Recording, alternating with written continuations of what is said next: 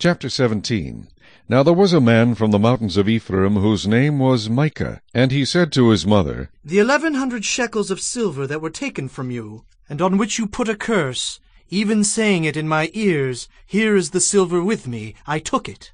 And his mother said, May you be blessed by the Lord, my son. So when he had returned the eleven hundred shekels of silver to his mother, his mother said, I had wholly dedicated the silver from my hand to the Lord for my son, to make a carved image and a molded image. Now, therefore, I will return it to you. Thus he returned the silver to his mother. Then his mother took two hundred shekels of silver, and gave them to the silversmith, and he made it into a carved image and a molded image, and they were in the house of Micah. The man Micah had a shrine, and made an ephod and household idols, and he consecrated one of his sons, who became his priest. In those days there was no king in Israel, every one did what was right in his own eyes.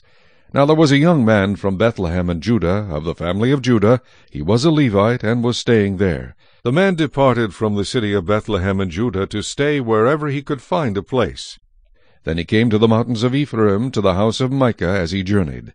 And Micah said to him, Where do you come from? So he said to him, I am a Levite from Bethlehem in Judah, and I am on my way to find a place to stay. Micah said to him, Dwell with me, and be a father and a priest to me, and I will give you ten shekels of silver per year, a suit of clothes, and your sustenance. So the Levite went in.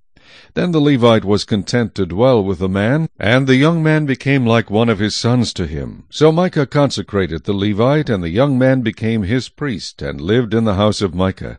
Then Micah said, Now I know that the Lord will be good to me, since I have a Levite as priest.